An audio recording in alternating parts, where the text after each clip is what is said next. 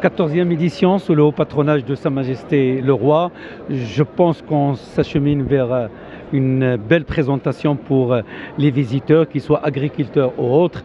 Euh, dans ce salon, il y a l'aspect territoire et on voit la diversité de notre agriculture à travers les territoires.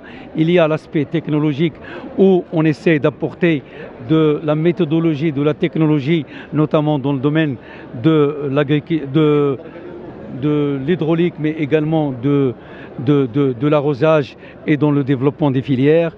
La valorisation est, aussi importante.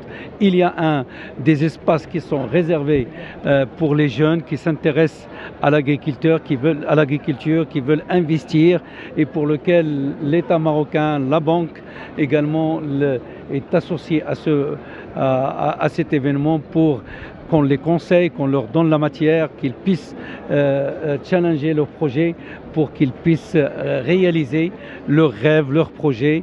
et je pense que, comme a dit Sa Majesté, l'agriculture peut être un grand réservoir pour l'emploi, pour l'avenir.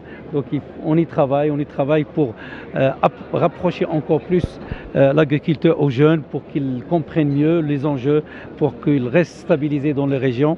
Et, c'est là tout le défi. Je pense que ce salon est, inscrit dans, dans ce schéma-là pour essayer d'être le plus proche de la jeunesse et de ceux qui s'intéressent à l'agriculture.